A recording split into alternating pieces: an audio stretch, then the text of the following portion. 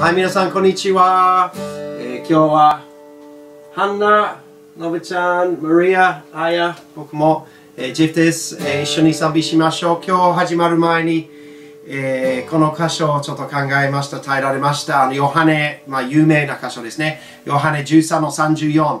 あなた方に新しい戒めを耐えましょう。互いに愛し合いなさい。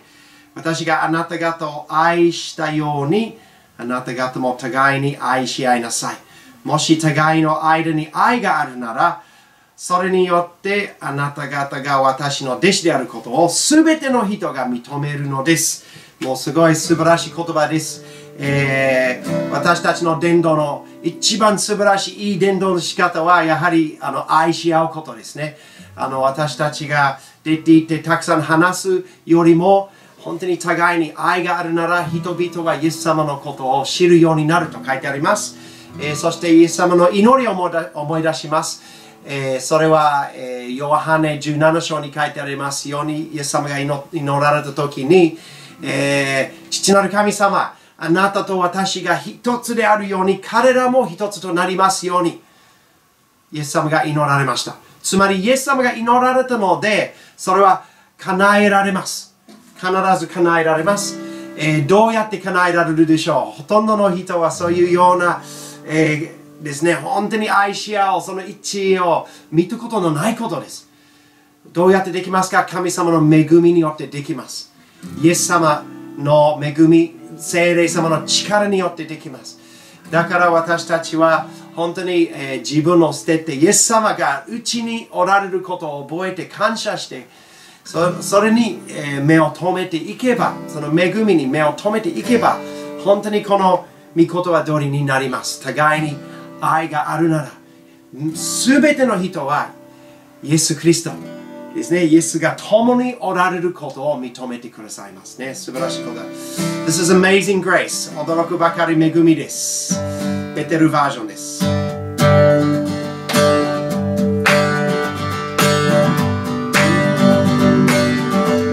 闇と死の。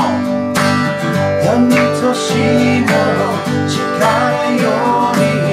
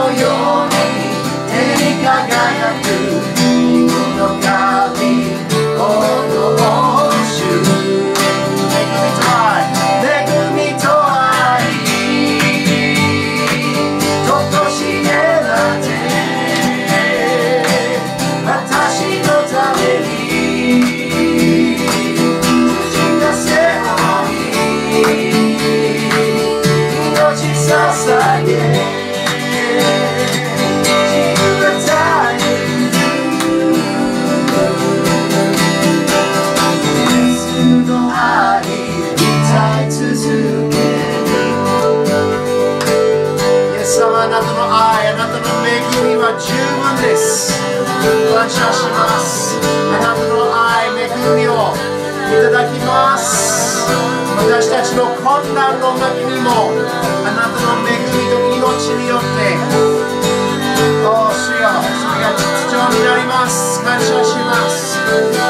お主よ一人ぼっちの時に私たちは一人ではなくあなたが共におられると思います。混乱の秩序に私たちを神の子にもう一度宣言しましょう混乱の秩序に私たちを神の子に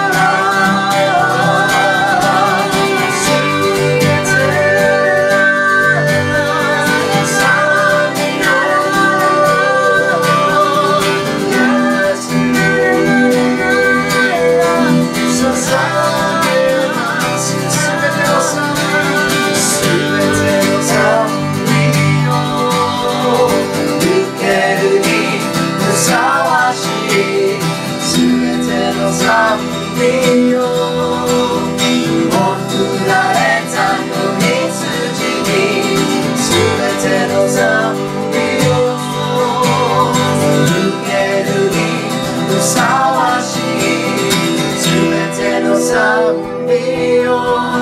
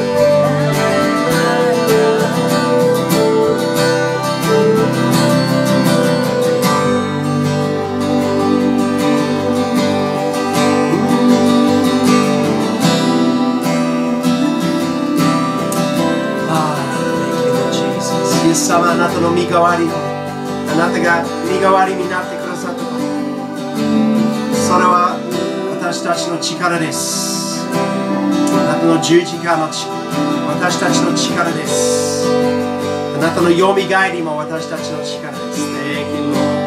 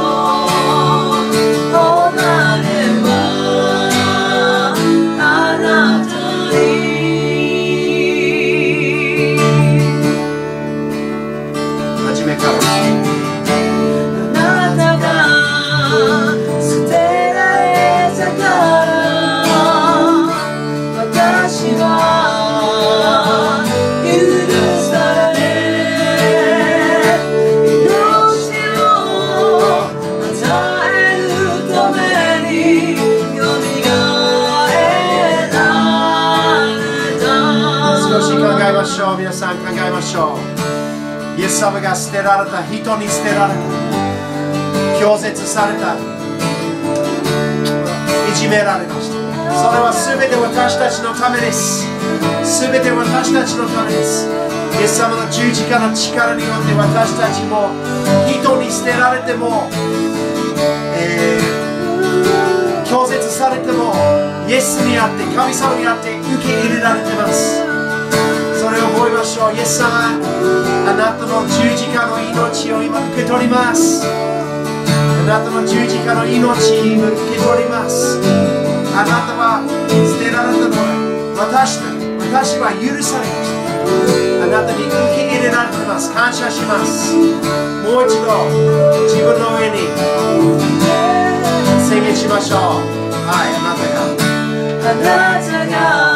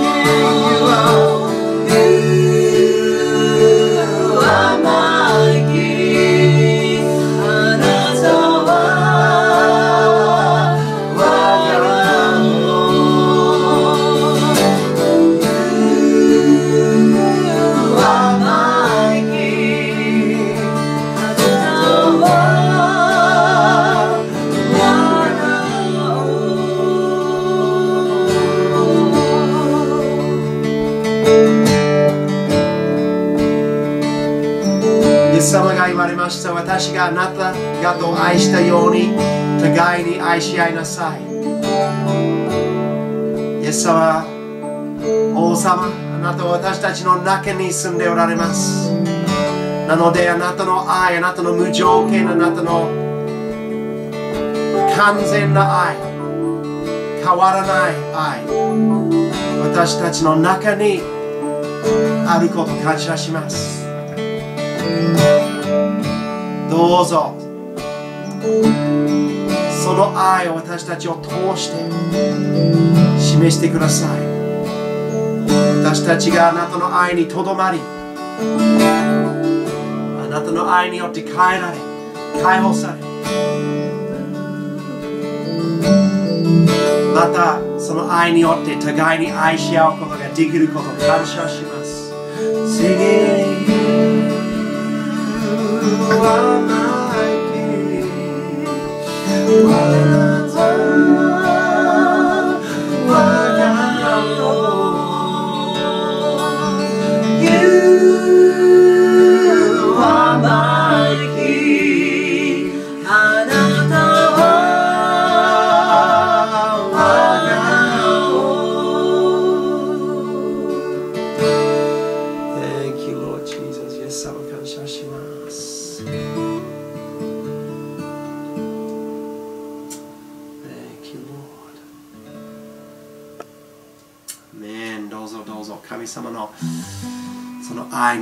の中にとどまりましょう。おぶちゃんからのい励ましの言葉お願いします。はい、以上。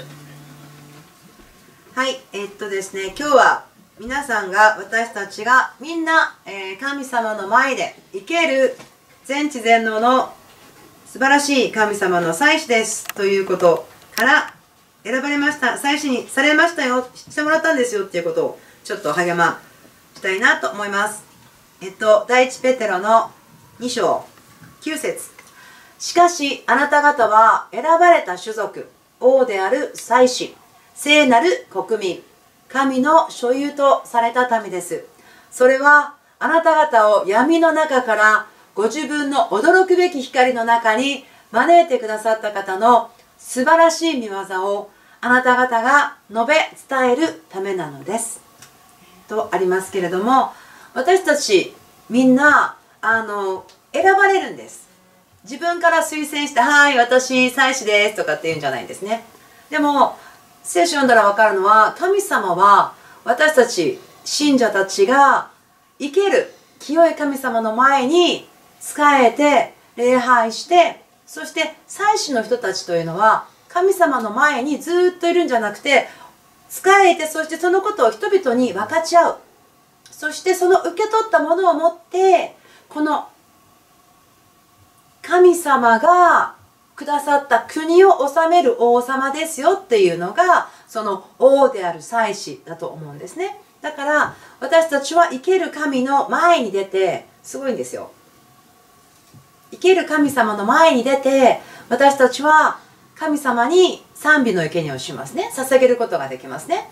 それはイエス・キリストの血があるから。ですよね。自分たちの頑張りとか正しい行いとかたくさんのお金とかいっぱいのお犬とかじゃないんです。全然関係ない。ただイエス様の知識がありますよね。その知識に私たちが覆われているので私たちはその聖なる清い神の前に大胆に出られますよと言ってますよね。そしてもう一つはその祭司なので何があるかというとですね祭壇で働くんです。で私このこと最近本を読んでああと思ったんですけど祭壇というのは交換する場所です。私たちもちろん生贄を捧げるんですけどその例えばダビデとか例えばアブラハムとか例えばイサクとかその旧約聖書から見て分かるような神様の前に生贄を持ってって出た人たちってお願いをしに行くんですよ。私はこの戦いに行くべきでしょうか？神様この敵のことはどうするべきでしょうか？